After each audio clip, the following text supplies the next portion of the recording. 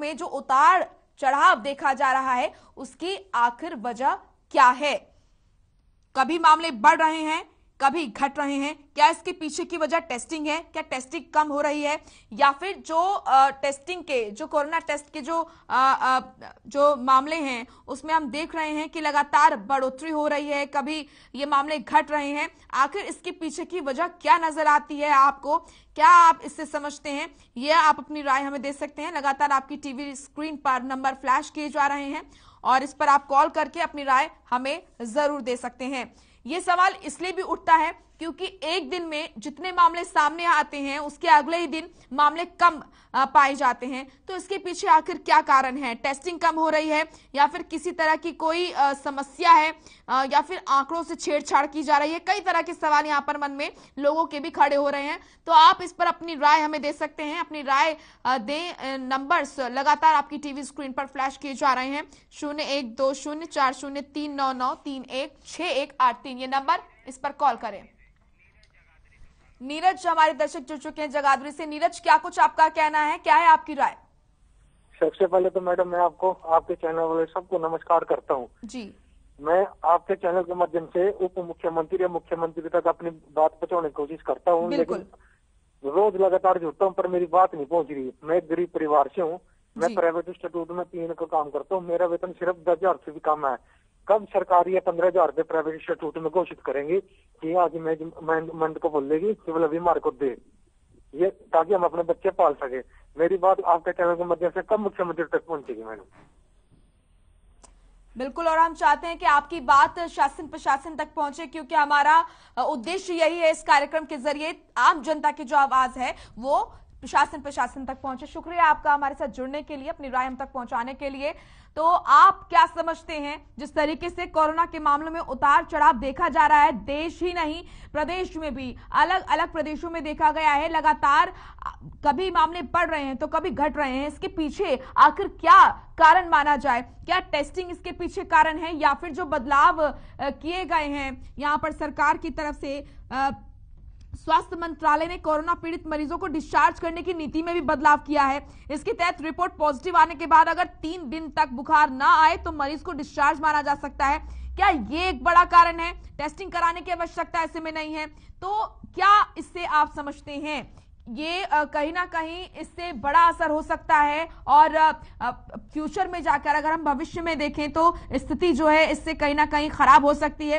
तो आपकी इस पर क्या राय है? आप क्या समझते हैं? अपनी राय आप ज़रूर दें। लगातार आपकी टीवी स्क्रीन पर नंबर फ्लैश किया जा रहा है। शून्य एक दो शून्य चार शून्य तीन नौ नौ तीन एक छह एक आठ तीन। ये नंबर है हमारा, इस पर आप कॉल करें, अपनी राय आप ज़रूर दें। कोरोना के मामलों में लगातार उतार चढ़ाव देखा जा रहा है। देश प्रदेश में कभी घट रहे हैं मामले तो कभी बढ़ रहे हैं। कोरोना के मामलों में लगातार कभी गिरावट देखी जा रही है तो कभी लगातार मामले बढ़ रहे हैं। देश में ठीक होने वाले मरीजों की संख्या में इजाफा हो रहा है। क्या जल्द आने वाली है तीसरी लहर? क्या कोरोना टेस्टिंग के नियम बदलने से फ़र्क पड़ रहा है? क्योंकि आपको बता दें कि स्वास्थ्य मंत्रालय ने कोरोना पीड़ित मरीजों को डिस्चार्ज करने की नीति में बदलाव किया है। ये बदलाव क्या है ये आपको बता देते हैं।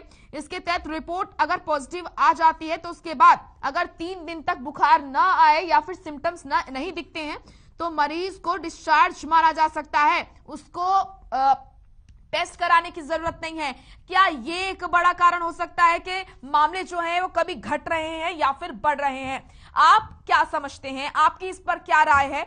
आप अपनी राय हमें टीवी स्क्रीन पर जो नंबर फ्लैश किए जा रहे हैं, इस पर कॉल करके दे सकते हैं। अपनी राय आप बताएँ। और इस कार्यक्रम को शुरू करने का उद्देश्य यही है कि आपकी जो आवाज़ है, जो आपकी सवाल है, जो आपकी राय है, वो शासन प्रशासन के कानों तक हम पहुँचाए। तो आप अपनी राय हम तक ज़रूर पहुँचाए। कॉल करें। हमारा नंबर लगातार टीवी स्क्रीन पर फ्लैश किया जा रहा है। शून्य एक, दो शून्य, चार शून्य, तीन, नौ नौ, तीन, एक छ एक आठ तीन कोरोना के मामलों में उतार चढ़ाव जारी है, लगातार हम देख रहे हैं, कभी देश और प्रदेश में लगातार मामले बढ़ रहे हैं तो कभी मामले एकदम से घट जाते हैं। कोरोना के मामलों में ये जो गिरावट देखी जा रही है या फिर बढ़ोतरी एकदम से देखी जा रही है, इसके पीछे का कारण आखिर क्या है? सुरेंद्र हमारे साथ दर्शक जुड़ चुके हैं कैथल से। सुरेंद्र, आपका क्या मानना है? क्या है आपकी राय? मैम, सबसे पहले तो हर खबर की इस पहल को लेकर मैं धन्यवाद करता हूँ आपका। जी। कोरोना को लेके जहाँ तक मेरा ख्याल है मैम कि कोरोना का जो टेस्टिंग है ना उसमें बहुत कम टेस्टिंग है जिससे कि सही आंकड़े सामने नहीं आ पा रहे हैं सही लोग वैक्सीनेट नहीं हो पा रहे हैं। सिर्फ़ ज़्यादा ज़ोर वैक्सीन देने पर दिया जा रहा है बजाय कि इसको आ, इसकी टेस्टिंग पे ज़्यादा वो देना चाहिए ताकि सही मरीज़ को सही वैक्सीनेट कर किया जाए और आंकड़े भी सही आए। बिल्कुल, शुक्रिया आपका, सुरेंद्र, अपनी बात हम तक पहुँचाने के लिए, अपनी राय देने के लिए।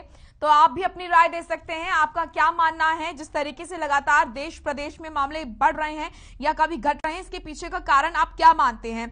देश में जिस तरीके से, प्रदेश में जिस तरीके से मामले घट रहे हैं, बढ़ रहे हैं, इसके पीछे आप क्या, इसका कारण मान रहे हैं? क्या कोरोना टेस्टिंग के नियम बदलने से फ़र्क पड़ रहा है? या फिर टेस्टिंग कम हो रही है, इससे मामले कम आ रहे हैं? क्या आपको लगता है इसके पीछे क्या कारण हो सकते हैं? तो अपनी राय आप इस पर ज़रूर दें। आपकी राय बहुत अहमियत रखती है हमारे लिए और आपकी आवाज़ शासन प्रशासन तक पहुँचे ये हमारा उद्देश्य है। शून्य एक दो शून्य चार शून्य तीन नौ नौ तीन एक छ एक आठ तीन, ये नंबर है हमारा लगातार। टीवी स्क्रीन पर यह फ्लैश किया जा रहा है। आप इस नंबर पर कॉल करें और अपनी राय हम तक ज़रूर पहुंचाएँ। आप इस मुद्दे पर क्या समझते हैं? क्या आपका मानना है? क्योंकि लगातार ये देखा जा रहा है लोगों के मन में ये आ, सवाल भी उठता है कि आखिर ऐसा कैसे हो सकता है? आज अगर मामले बड़े हुए नज़र आ रहे हैं तो अचानक मामले कल घट कैसे जा सकते हैं? इतनी जल्दी मरीज़ ठीक कैसे हो जाते हैं? तो ये दुविधा में लोग पड़े हुए हैं। आपके मन में भी अगर किसी तरह की दुविधा या फिर किसी तरह का सवाल है तो आप हमें इन नंबर पर कॉल कर सकते हैं और अपनी राय या फिर अपना सवाल पूछ सकते हैं। देश प्रदेश में लगातार कोरोना के मामले कभी घटते हुए नज़र आ रहे हैं, कभी बढ़ते हुए नज़र आ रहे हैं। तो इसका क्या कारण है? क्या कोरोना टेस्टिंग के नियम बदलने से इस पर फ़र्क पड़ा है? क्योंकि आपको बता दूँ कि स्वास्थ्य मंत्रालय ने कोरोना पीड़ित मरीजों को डिस्चार्ज करने की नीति में बदलाव किया है। इस नीति के आ, आ, अगर हम देखें बांदा से हमारे साथ हमारे दर्शक सोम शंकर जुड़ चुके हैं। सोम जी क्या आपकी राय है? क्या आप कहना चाहते हैं? देखिए इसमें ठीक है जो अभी कोशिशें चल रही हैं लेकिन सब सबसे बड़ी बात ये होती है जो मेडिकल पैनल है या जो स्टेट गवर्नमेंट की जो मेडिकल बॉडी है तो वो उसको ये सोचना चाहिए कि हमें इंश्योर करना है कि हर एक घर में एक एक बंदे तक वैक्सीनेशन का कार्यक्रम हो। तो इसके लिए एनजीओ है या व्यापारी संगठन है या और भी ऐसी चीज़ें हैं इनको जो है पहुँचना ज़रूरी है ताकि ज़्यादा से ज़्यादा जो रिज़ल्ट है वो हमको मिल सके जी। और वैक्सीनेशन पूरा हो सके। तो इसके लिए सरकार के साथ साथ अवेयरनेस की भी बहुत ज़रूरत है। पब्लिक अवेयरनेस इज़ भी मस्ट जी। जी। बिल्कुल तो अवेयरनेस की ज़रूरत है। शुक्रिया आपका। सोमशंकर जी हमारे साथ जुड़ने के लिए अपनी राय तक पहुँचाने के लिए। तो क्या आप समझते हैं? लोग हमारे साथ लगातार जुड़ रहे हैं, दर्शक हमारे साथ जुड़ रहे हैं और अपनी राय हम तक पहुँचा रहे हैं। कुछ का ये मानना है कि टेस्टिंग जो है वो ज़्यादा से ज़्यादा होनी चाहिए। तो कुछ का ये कहना है कि लोगों का जागरूक होना बहुत ज़्यादा ज़रूरी है। तो वहीं आप क्या मानते हैं? आप क्या समझते हैं? देश और प्रदेश में मामलों में उतार चढ़ाव, इसके पीछे क्या कारण हो सकता है? क्या कोरोना टेस्टिंग के नियम बदलने से फ़र्क पड़ रहा है? क्या टेस्टिंग कम होने से मामले कम आ रहे हैं।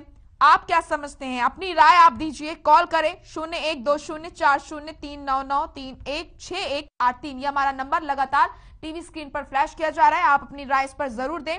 आपको बता दें कि ये लगातार देखा जा रहा है। देश प्रदेश में कोरोना के जो मामले हैं उनमें उतार चढ़ाव देखा जा रहा है। लोगों के मन में कई तरह के सवाल है कि आखिर ऐसा क्यों हो रहा है क्या इसके पीछे की वजह है? आ, कई लोगों का मानना है कि जो आ, टेस्टिंग के नियम में बदलाव किया गया है उससे फ़र्क पड़ा है। तो कई लोगों का मानना है कि टेस्टिंग कम होने से मामले एकदम से कम आ रहे हैं। तो आप क्या समझते हैं?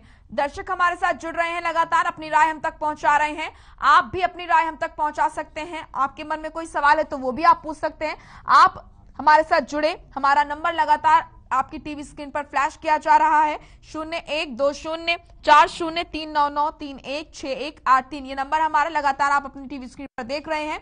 आपको बता दें कि टेस्टिंग के नियम में बदलाव किया गया है। स्वास्थ्य मंत्रालय की तरफ़ से कोरोना पीड़ित मरीजों को डिस्चार्ज करने की जो नीति है, उसमें बदलाव किया गया है।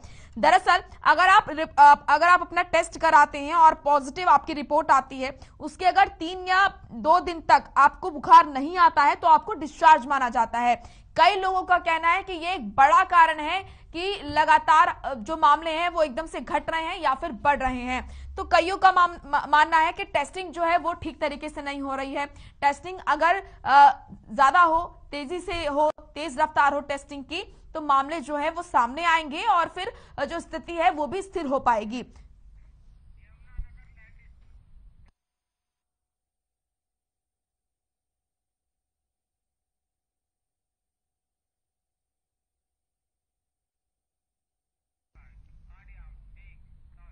चलिए, बड़ी खबर का रुख करेंगे। इस वक्त की बड़ी और महत्वपूर्ण जानकारी आप तक पहुँचा देते हैं। आपको बता दें कि बड़ी खबर आ रही है। इस वक्त की बड़ी और अहम खबर, क्या कुछ है बड़ी खबर आपके सामने? यमुनानगर से बड़ी खबर है, जमीनी विवाद में दो गुटों में झगड़ा हुआ है। दोनों गुटों में जमकर लाठी डंडे और पत्थर चले हैं। ज़मीन पर कब्जा करने पहुँचे दबंगों ने मारपीट की है। पीड़ित पहले ही हाईकोर्ट में जीत चुका है केस। मौके पर पहुँची पुलिस ने मामले को शांत कराया। बड़ी खबर इस वक्त की यमुनानगर से है। जमीनी विवाद में दो गुटों में झगड़ा हुआ है। दोनों गुटों में जमकर लाठी डंडे और पत्थर चले हैं। ज़मीन पर कब्जा करने पहुँचे दबंगों ने मारपीट की है। पीड़ित पहले ही दरअसल हाईकोर्ट में केस जीत चुका है, जिसके बाद दबंगा यहाँ पर देखने को मिली है। और मारपीट का मामला सामने आया है। जमीनी विवाद में दो गुट्टों में आपस में झगड़ा हुआ, लाठी डंडे और पत्थर जम के चले हैं। ज़मीन पर कब्जा करने पहुँचे दबंगों ने मारपीट की है। जो पीड़ित है वो पहले ही कोर्ट में केस जीत चुका है। मौके पर पहुँची पुलिस ने फ़िलहाल मामला शांत करा दिया है। तो यमुनानगर से बड़ी खबर आ रही है, जमीनी विवाद में दो गुटों में झगड़ा हुआ है। दोनों गुटों में जमकर लाठी डंडे चले हैं और पत्थर चले हैं। ज़मीन पर कब्जा करने पहुँचे थे दबंग, जिन्होंने मारपीट शुरू की और बताया ये जा रहा है कि पीड़ित पहले ही कोर्ट में केस जीत चुका है। उसकी ज़मीन पर कब्जा करने के लिए दबंग आए थे, जिन्होंने मारपीट शुरू की और ये झगड़ा हुआ। दोनों गुटों में जमकर लाठी डंडे और साथ ही साथ पत्थर भी चले हैं। और इस मामले में फ़िलहाल पुलिस ने ये मामला शांत कराया है वहाँ पहुंचकर। जमीनी विवाद का यह मुद्दा बताया जा रहा है, जिसको लेकर दो गुटों में झगड़ा हुआ। दोनों गुटों में जमकर लाठी डंडे और पत्थर चले हैं और ज़मीन पर कब्जा करने के लिए दबंग वहाँ पहुँचे थे।